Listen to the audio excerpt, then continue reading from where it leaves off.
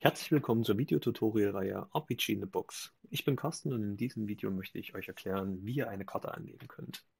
Dazu müssen wir eine neue Ressource auswählen und diesmal vom Typen Map. Für die Karte brauchen wir einen Namen. Da es mein Startbereich ist, nenne ich das jetzt erstmal Startbereich. Und die Größe meiner Felder war mit 16 x 16 definiert, also lasse ich das so und gehe auf OK. Damit befinden wir uns das erste Mal in einem neuen Editor, nicht mehr der Voxel-Editor, sondern der Map-Editor. Wir haben neue Schaltflächen. Prinzipiell ist der Aufbau relativ gleich. Wir haben die Map-Tools, das sind die Bearbeitungswerkzeuge. Feld hinzufügen, Feld auswählen, Pfade verknüpfen und äh, den Füllmodus. Und wir haben die Auswahl, äh, einzelne Felder zu setzen oder eine Box zu ziehen. Ähnlich wie wir das schon aus dem Voxel-Editor kennen. Über die Map Properties können wir später Variablen definieren und das Verhalten einstellen. Das machen wir später und wir haben die Auswahl der Navigationspfade mit einem Farbsetup, was ich persönlich geändert habe, da ich eine Rot-Grün-Schwäche habe. Also lasst euch da nicht in die Irre führen. Das ist bei euch anders, könnt ihr aber frei definieren hier oben über die Settings. Im Map-Editor könnt ihr hier die Farben frei wählen. Okay. Zur Navigation. Hier könnt ihr euch umgucken mit gedrücktem Mausrad könnt ihr euch bewegen, könnt allerdings nicht nach oben und unten gehen. Das liegt an der Kameraeinstellung, die hier definiert ist mit der Standardkamera. Ihr könnt das auf die freie Kamera stellen und könnt euch damit im ganzen Raum umschauen. Ihr habt auch isometrische Kamera, Top-Down-Kamera und andere Varianten. Spielt da gerne ein bisschen damit rum. Das brauchen wir jetzt erstmal nicht. Ihr könnt die Kameraposition auch für später speichern, äh, könnt damit quasi ein Preset machen, was ihr immer wieder einfügt. Und die anderen Symbole erkläre ich dann später. Denkt auch hier dran, häufig speichern hilft, damit nichts verloren geht. Und wir können hier anfangen, unsere Karte zu definieren.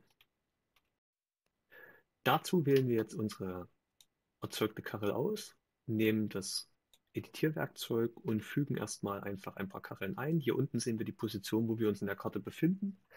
Die Karten haben, glaube ich, eine Standardgröße von 128 x 128 Feldern, wobei wir bei 00 beginnen wollen. Das können wir gleich mal rauskriegen. Was ist da hinten? Ja, 64 plus 64 minus in jede Richtung.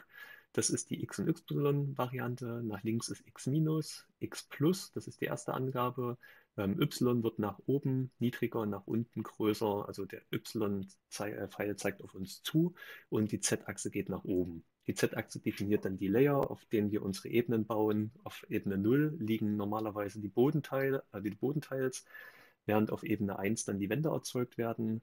Wenn wir die auf dieselbe Ebene setzen würden, würden wir das dann löschen. Zeige ich nachher alles noch im Detail. Momentan wollen wir erstmal eine ganz normale kleine Fläche erzeugen. Das heißt, wir beginnen bei 0, 0 und ziehen einfach erstmal fünf Kacheln in jede Richtung und sehen, dass dabei Linien auf dem Bildschirm entstehen.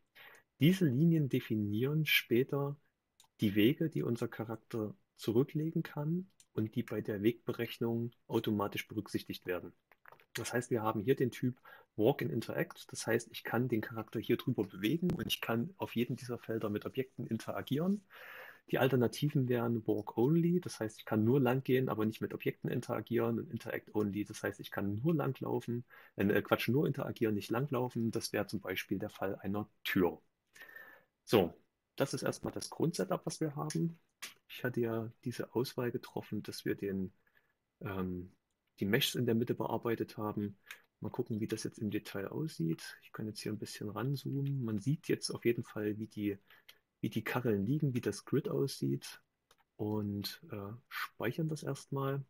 Damit haben wir eine grundlegende Karte erstellt. Wir werden die noch schöner machen. Es geht erstmal nur um das Grundsetup, damit ihr möglichst schnell vorwärts kommt.